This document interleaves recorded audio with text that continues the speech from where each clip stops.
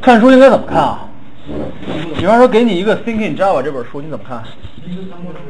一个字一个字抠是吗？我告诉你，累死你了。会的就不看，会的不看很正常。关键是说，你不会的那个你怎么看？有用吗？这个，嗯，我给你我踩我我给踩啊踩吧，随便踩。看的时候怎么看？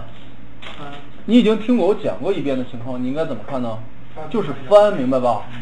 翻，你看它这小节的内容，我已经讲过了，你很熟悉，立马略过，是不是啊？一看这小节的内容我没有讲过，但是我说过这不是重点，立马略过，别在那上头浪费时间。行吗？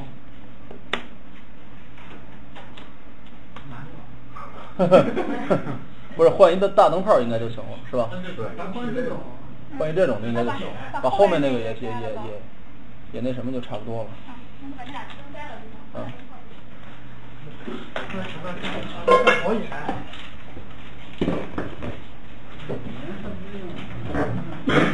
应该不能仔细看，好东西看不懂。对，Thinking in Java，你要是仔细的使劲的抠，抠的你脑袋疼，啊，因为它里边有有好多内容呢，它是站在一个非常非常成熟、写过很多年程序的程序员的角度给你讲的，你知道吧？他没有站在你刚刚初学者接触的角度上给你讲，所以我为什么说 Thinking Java 你要有一定基础你才能看，就在于这里。为什么我说你没有基础的你应该看其他的书，就在于这个地方。OK，那个地儿 Thinking Java 严格来讲它不太适合，就是你刚入门的时候看，那看起来挺痛苦的，是不是啊？嗯，有一定基础之后，其实像咱们现在就算是有了一定基础，有了一定基础之后，你要看它的时候，也同样的，你不要说那个非得花一个月死抠抠的每个字都特别清楚，然后才来看，才才才才算把它看懂了，不是这么回事儿。怎么算看懂了？从头到尾的溜一遍这些知识点，他讲的大概的东西，呃，哦，他讲的大概的东西，你都已经在脑子里有印象了。OK，这算你看懂了。真正这个东西，你一看他看懂，你就别死抠了，一个字一个字还跟那抠。我我看有人看书，前言抠了两天，摁摁在那看半天，你知道吧？看它干嘛有什么用啊？是不是啊，同学们？你别理他，理他干嘛？面向对象，他讲灯泡啊，这个呀那个，你看一堆。面向对象咱们已经讲过了，你脑子里要对他有信息印象的话，看一眼他的提纲就行了。所以看书，首先你溜提纲，甭管什么样的书，对不对？溜那个目录，看那个目录。如果您如果说你现在看书是要追求达到的目的，我是要掌握其中所有的知识，那你就六就行了。如果说你要是追求的是我要解决某个问题，直接奔那个问题而去，不要看其他的。计算机书多了去了，有些人有些翻译的不好的，写的不好的，你抠起来会累死你，你会觉得这种书怎么也会拿到他市面上卖？我就不说更难听的话了，好吧？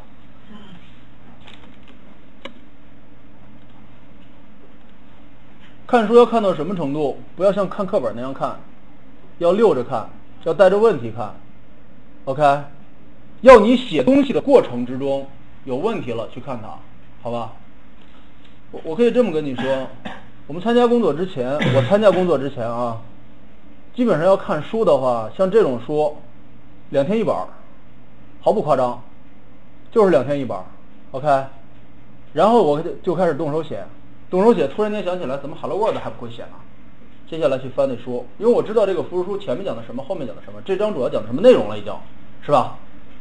带着问题就去翻那书，写这项目 Hello World 不知道怎么写了，翻这书，哦，Hello World 原来这样写，写完之后，哎，怎么编译啊？不会，翻书哦，他在这儿讲怎么编译，OK，去查就行了，听明白这意思了吧？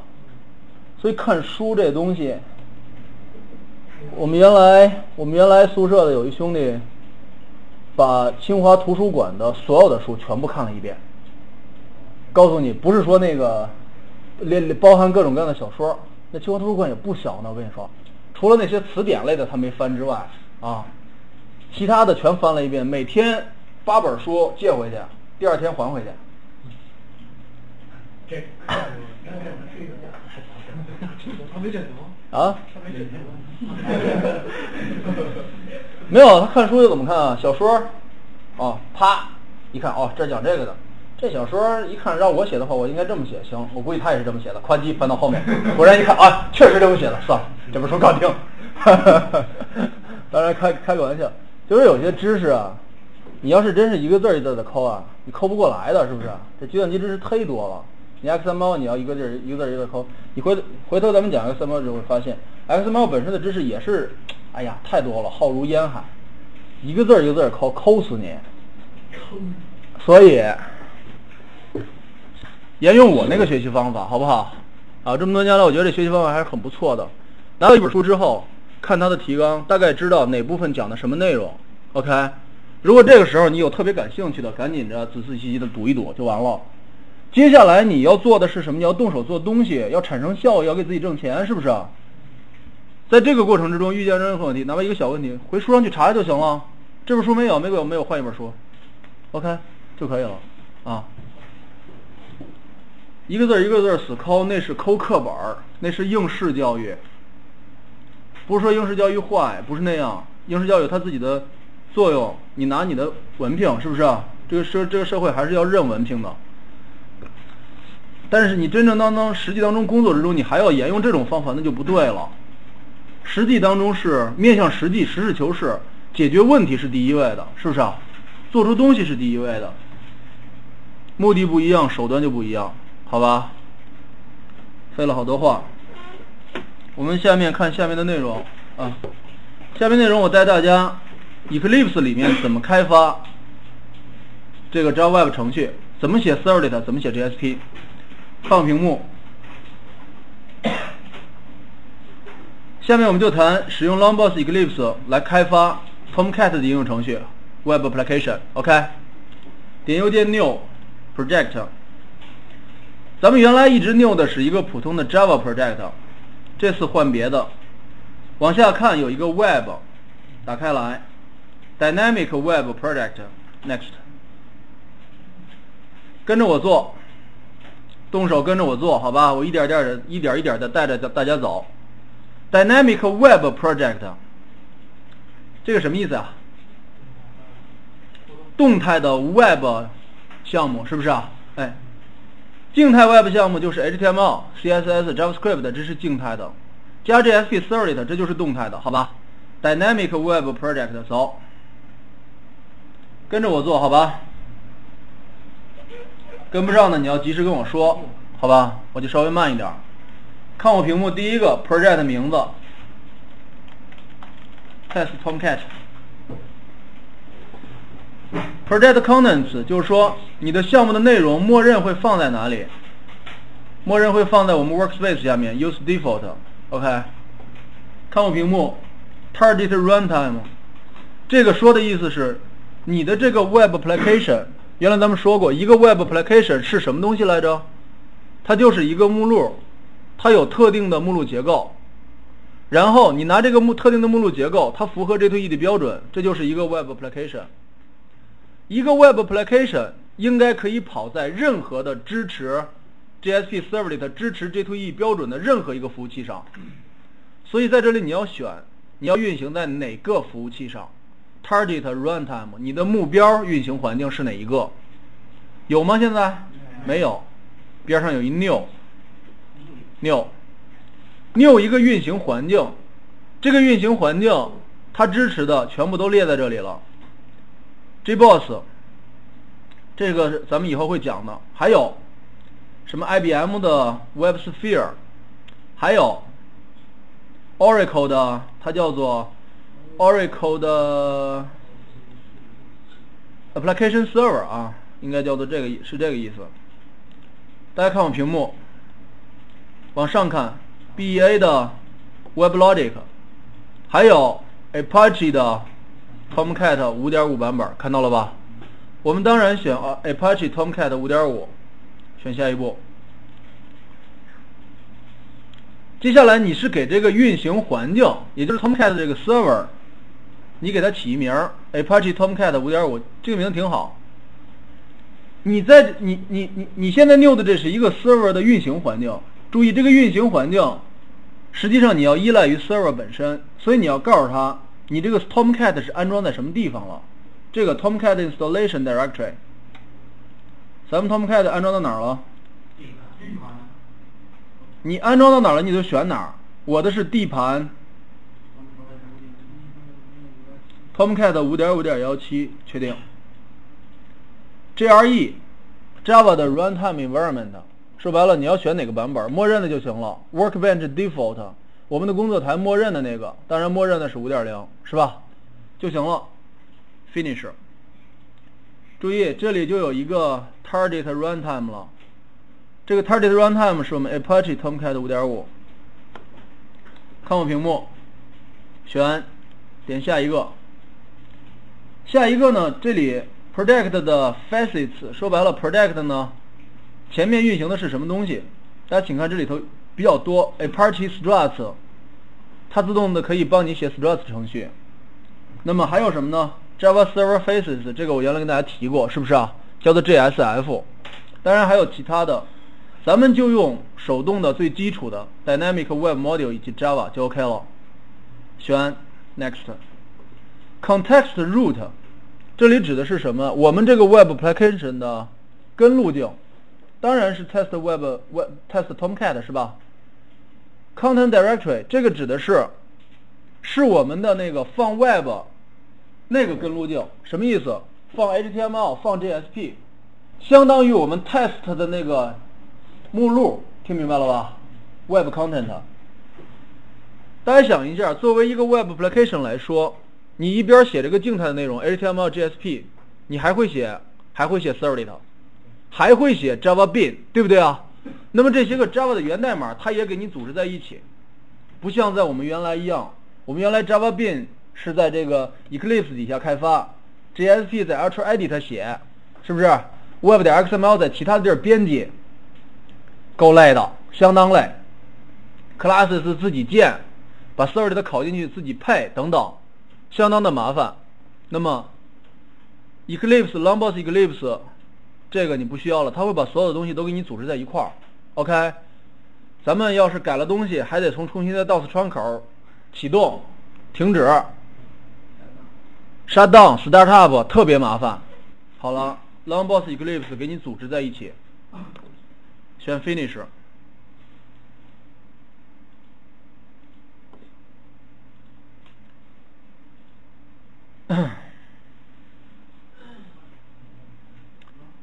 Finish 的过程，它会，哎呀，它会到网上进行一个 XML 的 validation，这什么意思？我再说啊，会稍微麻烦一些，稍微慢一些，只是第一次，后面就会快了啊。怎么样？大家到这一步了吗？到笑什么呀？到没到？到了，我我这个那个 long box 不知道没了，文件没了，所以说。又没了？怎么又没了？我不知道又没了，怎么又没了？一查那文件留，让我查询的是吧？真的？一般那个找不着，本来就是。好，来看我屏幕，它会弹出这么一框，他说：“碰见英文你别害怕，你读一读，不然的话你永远都不会读，是不是啊，同学们？碰见蛇你要周旋一下，不然的话你你永远都怕蛇，是不是？这东西就是慢慢练出来的，OK。” This kind of project is associated with the J2EE pers per 呃 perspective。他说这个项目是和 J2EE 的那个视图关联在一起的。Do you want to open this perspective now？他说你是不是要打开这个视图？咱们普通的项目是和 Java 这视图联系在一起，看这边，和 Java 这视图联系在一起，是吧？那么这个 Dynamic Web Project 是和 J2EE 的 perspective 联系在一起。 当然你要打开它，Remember my decision，让他记住，别每次老问 Yes。请看，他已经要切换到 J2E 视图了，切换过来了。这是 J2E 的视图，J2E 的视图和其他不一样的，这里有一个 Servers，看到了吗？Server 是吧？这个 Servers 干什么使的？一会儿再说。好了，Test Tomcat 前面的这个呃项目的图标都不一样了。Deployment descriptor test Tomcat，这个先不去管它。Java resources, Project Explorer, Build, Web Content,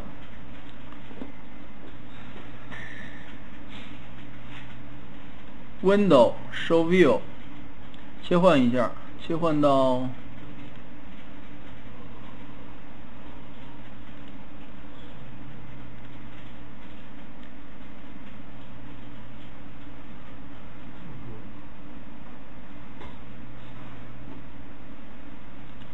切换到 Package Explorer。嗯，哪儿去了？跑这儿来了，拖到这边来。回到我们 Package Explorer 好吧，回到这个视图，注意啊，这是这是一个 Project Explorer，这是 Package Explorer，这不一样。我们回到 Package Explorer 会看到我们的 Source 那目录，OK。我们写程序的时候写 Java Bean 或者写 Servlet 都都可以在这儿写。接下来请大家往下看，这是我们需要的 Java 的运行的环境，我们需要的炸包都在这里，JRE 的 System Library。同时，既然我们的目标，我们的运行的目标、运行的环境是 Tomcat 5.5，它会自动的把 Tomcat 底下我们要用到的这些个炸文件全部的都给你包含进来，包含我们的 Servlet API 点炸，看到了吧？下面是 Web Application Library，这个是什么东西？这个是我们自己的这个 Web Application 将来要用到的各种各样的炸包。OK，比方说我们要连数据库的话，怎么办？引入相应的各种各样的炸。如果是要连 Oracle，引 Class 幺二点炸；如果是要连 MySQL，引 MySQL 自己的炸；如果你要连 SQL Server，有 SQL Server 自己的炸。当然，你也可以通过 JDBC、ODBC 桥，是吧？那个网上去看就成了。Build，Build 是编译之编译好了之后搁哪儿啊？这个不说它。看我屏幕，看这个 Web Content。Web Content 下面有一个目录叫 Web Info，看到了吧？它会自己的帮你把这个 Web Info、把 Library 目录、把这个 Web 点 XML 帮你建好。双击打开 Web 点 XML。Web 点 XML 呢，它有一个类似于图形的界面，但是你应该看它的 source，直接看它的，看它的源代码就可以了，好吧？OK，以后你改 Web 点 XML 不用像原来我们那样，非得用 a r t r e d i t 单独来改了，在同一个界面里面直接改就行了。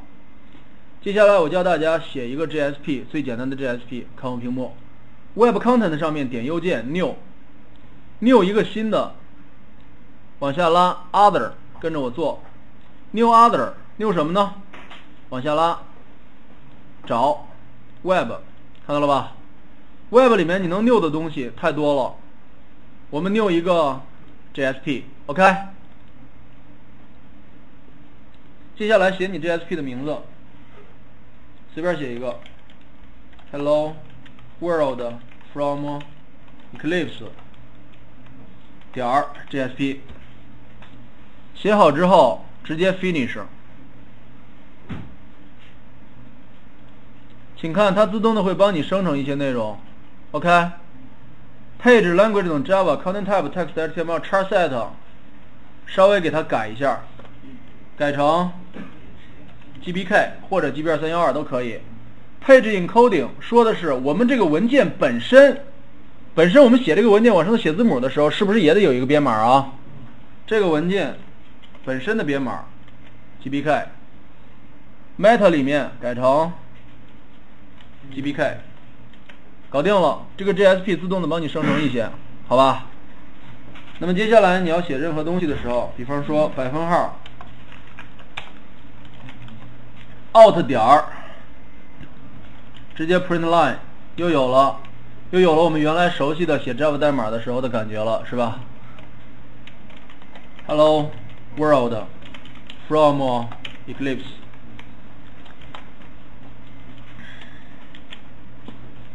这个还不是最好的，最好的是你直接可以在这个界面里面直接运行它。看我屏幕，点右键，文章文件上点右键，Run as。请大家看，这里有一个选项叫 Run on Server。有人说，老师，它它会 run 在哪个 server 上啊？run 在刚才我们配置好的哪个运行环境上啊？我们配置哪个，它就它就 run 在哪个运行环境上。Run on server，这里头会出一点小问题啊，你看着就行了。看我屏幕，刚才我们配置了一个运行环境是 Tomcat 5.5的 server 是吧？server lo 呃 host name 是 local host，runtime Apache Tomcat 5.5，把这个给勾上，set server as project default。把这个 server 当做我们 project 的默认的那个运行环境，不要每次运行一下都要问我一下，不要每次运行一下都你有一个新的运行环境，那样的话太郁闷了。finish。这时候你注意看，它多了自己多了一个项目，看到了吧？自己多了一个项目叫 server，是不是啊？OK，这是他自己建的，你不要管。接下来他要他会他会自己的会尝试着启动这 server，结果启动的时候会有错，为什么呀？咱们已经起了一个了，所以这个不需要了，把它删掉。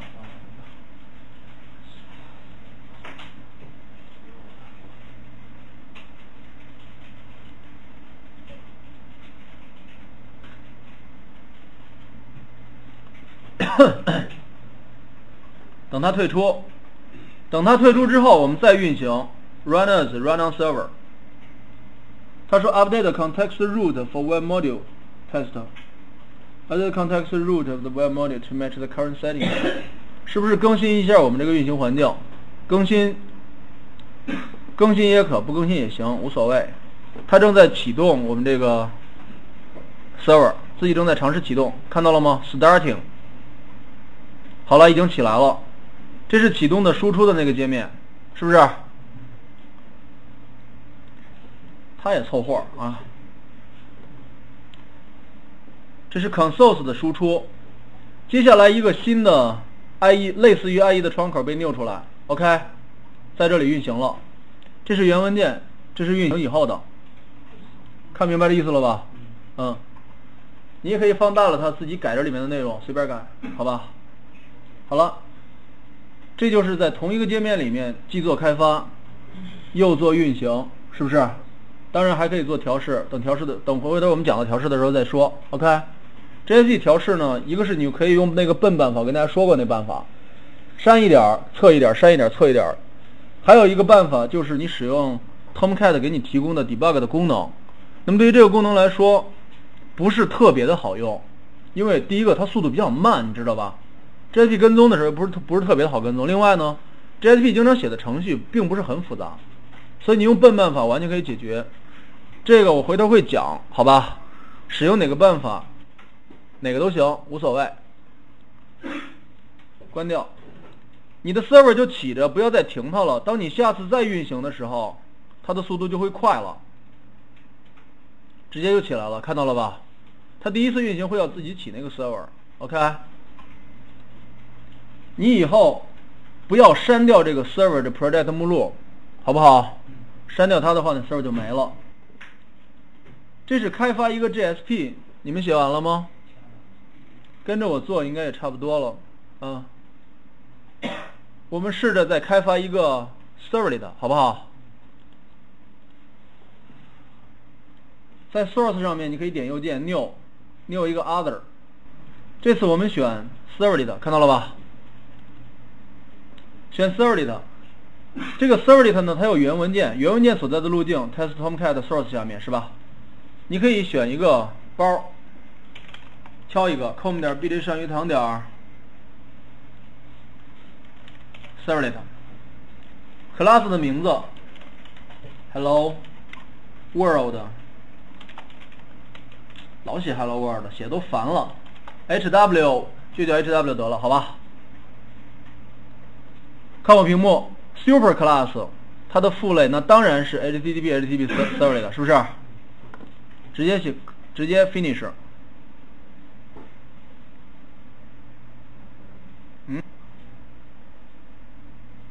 稍微慢一点，别着急，自动帮我们生成代码，自动帮我们生成构造方法，生物生成呢，JavaDocs 可以用的目录啊，这是 non-JavaDoc，这些个注释呢，暂时先给它删掉就完了。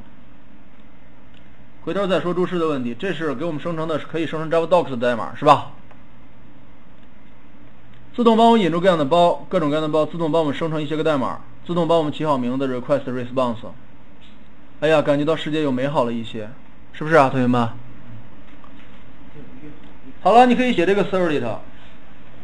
回想 servlet 怎么写的？print writer out 等于当然，你要用 print writer 的话，需要引入 I/O。简单起见，I/O 点星。print writer out 等于 response 点儿。哎，你现在如果要忘了的话，OK，它就可以给你提示了。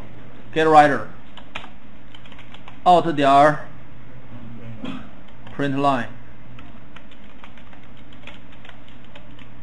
line，hello，。写 do pose 的时候，简单起见，你可以 this 点儿 do get，真好，自动的帮你什么都填好，是吧？OK，搞定了。那就说了，我还需要对它进行配置吗？如果你还需要让对它进行配置的话，那还叫自动化的工具吗？点右键。Run as run on server. Finish.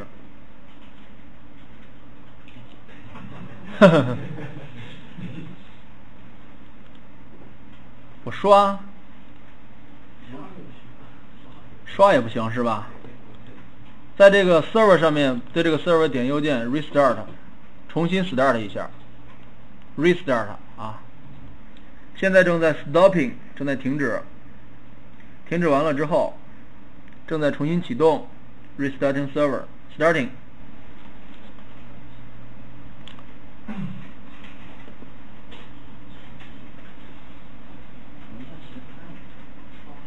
好了，server 起来了是吧？started，走，没问题了。这是它的，我觉得这是它的做的不好的一个地方啊。第一次弄的时候总是弄不出来，必须让你稍微重启一下，这个没办法，好吧？我我也没有找到更好的方法啊，稍微慢一点，但是已经比我们手动要配置这个东西已经要好很多了。看我屏幕，如果你对它的配置不满意，Web Info 下面 Web 点 XML，大家看它自动帮你配好了，看到了吧？Third Mapping，Third，OK，自动已经帮你配好了，感觉到世界又美好了一些。有这感觉应该，没这感觉。没这感觉，我希望你做回正常人，好吧？请大家要注意，最常犯的一个错误，我们的 GSP 文件应该放在 Web Content 那个根目录下面，或者是它的子目录下面，千万千万你别放到 Web Info 目录下面，或者是 Meta Info 目录下面，能理解这意思吧？强调一下这个问题，因为因为原来同学遇到的最多的错误啊，经常自觉不自觉的咣当里边去了。你要给它搁里边，这玩意儿你永远 run 不起来。Run as run on server，